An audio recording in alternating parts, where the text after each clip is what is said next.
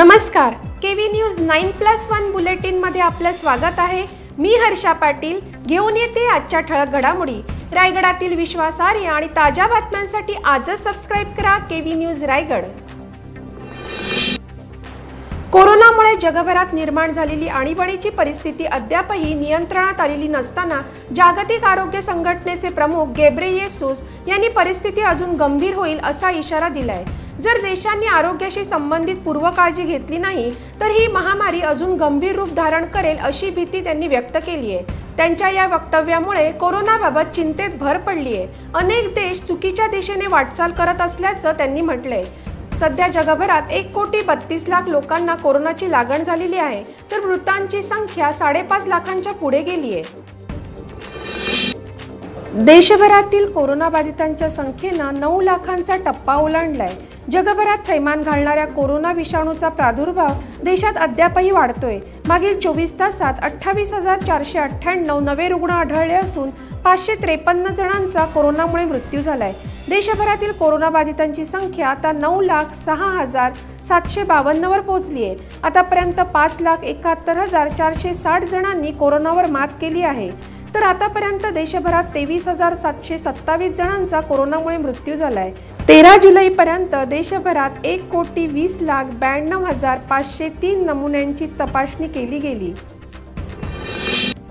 जिल्हा प्रशासन आणि पालकमंत्र्यांनी रायगड जिल्ह्यात पुन्हा लॉकडाऊनची घोषणा केली असली तरीही या लॉकडाऊनला नागरिकांकडून विरोध होताना दिसतोय. शेतकरी कामगार पक्षानंही हा लॉकडाऊन पक्षपाती असल्याचं मत व्यक्त केलंय. जिल्ह्यातील काही मोठ्या कारखान्यांमधून कोरोनाचा प्रादुर्भाव वाढल्याचं वास्तव आहे. मात्र पंधरा जुलैपासून करण्यात येणाऱ्या लॉकडाऊनमध्ये या कारखान्यांना सूट देण्यात आली आहे. याबाबत राजकीय नेते आणि सर्वसामान्य नागरिकांमध्ये नाराजी व्यक्त होते मोठ्या उद्योगांना सूट देत असताना लॉकडाऊनचा फटका केवळ लहान व्यावसायिक आणि व्यापाऱ्यांना बसणार असून जिल्ह्यातील सगळे कारखाने सुद्धा या कालावधीत बंद करण्यात यावेत अशी मागणी होताना दिसते. त्यामुळे काही तासात सुरू होणाऱ्या लॉकडाऊनला कसा प्रतिसाद नागरिकांकडून दिला जाईल याबाबत साशंकता आहे. गेल्या चोवीस तासात अलिबाग तालुक्यात कोरोनाच्या अठ्ठावीस नव्या रुग्णांची नोंद झाली असून एका रुग्णाचा मृत्यू झालाय. तर अलिबाग शहरात एकाच दिवशी बारा रुग्णांची नोंद झाली आहे. सोमवारी नव्याने आढळलेल्या रुग्णांमध्ये अलिबाग कोळीवाडा रेवस कोळीवाडा वरसोली कोळीवाडा चेंड्रे विद्यानगर आरसेफ कॉलनी कुरुळ रेवस पिंपळघाट अलिबाग बाजारपेठ म्हात्रोळी सारळ कोयनाड इथल्या रुग्णांचा समावेश आहे. अलिबाग कोळीवाड्यात तब्बल नऊ रुग्ण आढळले. तालुक्यातील एकूण रुग्णांची संख्या तीनशे पंच्याण्णववर पोहोचली आहे यापैकी एकशे साठ रुग्ण उपचारानंतर बरे झाले तर दोनशे पंचवीस रुग्णांवर उपचार सुरू आहेत. आतापर्यंत दहा रुग्णांचा कोरोनामुळे मृत्यू झाला आहे लॉकडाऊन असतानाही कर्जत तालुक्यातील माथेरान घाटातल्या झुमापट्टी धबधब्यावर पर्यटकांनी गर्दी केल्याची घटना समोर आली आहे. कोरोनाचा प्रादुर्भाव रोखण्यासाठी गेल्या साडेतीन महिन्यांपासून लॉकडाऊन करण्यात आला असतानाही पर्यटक झुमापट्टी धबधब्यावर पोहोचले आणि त्या ठिकाणी गोंधळ घातला. सोशल डिस्टन्सिंग धाब्यावर बसून इथे पर्यटकांनी गर्दी केली होती. तालुक्यातील धरणं धबधबे आणि पाणवठावर जमावबंदी लागू करण्यात आली आहे. या आदेशाचं उल्लंघनही पर्यटकांनी केल्यामुळे स्थानिक नागरिकांकडून संताप व्यक्त होतोय. बाहेरच्या जिल्ह्यातून येणाऱ्यांमुळे रायगडात कोरोनाचा कहर सुरू आहे. अशा स्थितीत पर्यटकांना रोखण्यासाठी पोलिसांनी कठोर उपाययोजना करण्याची मागणी होते गेल्या बहात्तर तासात महाराष्ट्र पोलीस दलातील चार पोलिसांचा कोरोनामुळे मृत्यू झालाय. त्यामुळे राज्यातील पोलिसांच्या मृत्यूचा आकडा एक्क्याऐंशी झाला असून एकट्या मुंबईतच आतापर्यंत अठ्ठेचाळीस पोलिसांचा कोरोनामुळे मृत्यू झालाय. गेल्या बहात्तर तासात मुंबई नवी मुंबई आणि पालघर येथे चार पोलिसांचा कोरोनाने मृत्यू झालाय.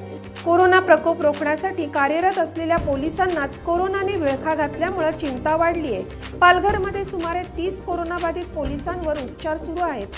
नवी मुंबईत आतापर्यंत एकशे त्र्याऐंशी पोलिसांना कोरोनाची लागण झाली आहे. मुस्लिम समाजासाठी महत्त्वाचा असलेला बकरी ईदचा सण साजरा करण्याची परवानगी लवकरात लवकर सरकारनं द्यावी अशी मागणी माजी मंत्री नसीम खान यांनी केली आहे.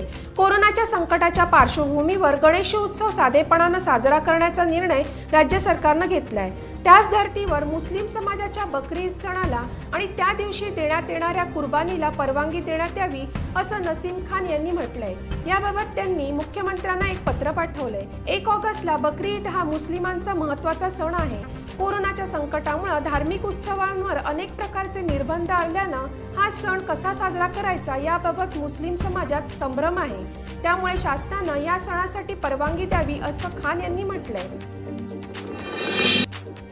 देशातील सद्यस्थितीचा अंदाज घेऊन भारतीय सनदी लेखाकार संस्थेनं पहिल्या टप्प्यातली परीक्षा रद्द केली आहे. एकोणतीस जुलै ते सोळा ऑगस्ट दरम्यान सी एच्या विद्यार्थ्यांसाठी पहिल्या टप्प्यातील परीक्षेचं आयोजन करण्यात आलं होतं. ही परीक्षा नोव्हेंबर महिन्यात दुसऱ्या टप्प्यातल्या परीक्षेसोबत घेतली जाईल अशी माहिती आय सी एच्या वकिलांनी सर्वोच्च न्यायालयात दिली. देशातली सध्याची परिस्थिती लक्षात घेता आय सी आयनं परीक्षेसाठी बसणाऱ्या उमेदवारांना पर्याय दिला होता. या विरोधात काही उमेदवारांनी सर्वोच्च न्यायालयात धाव घेतली होती. यावेळी न्यायालयात सनदी लेखाकार अभ्यासक्रमाच्या परीक्षांबाबत भूमिका स्पष्ट करण्यात आली. अंतिम वर्षांच्या परीक्षा घेण्यास राज्यातील तेरा विद्यापीठांनी नकार दिला असून यंदा राज्यात अंतिम वर्षाची परीक्षा होणार नसल्याचा अंदाज आहे. बंगळूर इथं परीक्षा देणाऱ्या विद्यार्थ्यांना कोरोनाचा संसर्ग झाल्याचं समोर आल्यानंतर आणि राज्यात कोरोना रुग्णांच्या संख्येत दररोज मोठ्या प्रमाणात वाढ होत असल्यामुळं राज्य सरकार परीक्षा न घेण्याच्या भूमिकेवर ठाम आहे. विद्यापीठ अनुदान आयोगानं अंतिम वर्षाच्या परीक्षा घेण्याबाबत सूचना दिल्या होत्या. तर राज्य सरकारनं परीक्षा होणार नसल्याचं जाहीर केलंय. त्यामुळे विद्यार्थ्यांचं भवितव्य टांगणीला लागलं होतं. आता राज्यात तेरा अकृषी विद्यापीठांच्या कुलगुरूंनीही सद्यस्थितीत परीक्षा घेणं उचित होणार नाही असं कळवलंय. खगोलशास्त्राच्या बाबतीत चौदा ते वीस जुलै हा कालावधी खूप खास असणार आहे. या सात दिवसात तीन मोठ्या खगोलीय घटना घडणार आहेत. चौदा जुलैच्या रात्री सूर्य आणि गुरु यांच्यात पृथ्वी येईल. याला खगोलीय भाषेत ज्युपिटर ॲट अपोजिशन असं म्हटलं जातं. ही खगोलीय शास्त्रीय घटना वीस वर्षापूर्वी घडली होती. पुढे दोन हजार चाळीसमध्ये ही अशी स्थिती पुन्हा दिसेल. चौदा जुलै रोजी सूर्यास्त झाल्यानंतर पावणे आठला पूर्व दिशेला गुरुग्रह दिसेल.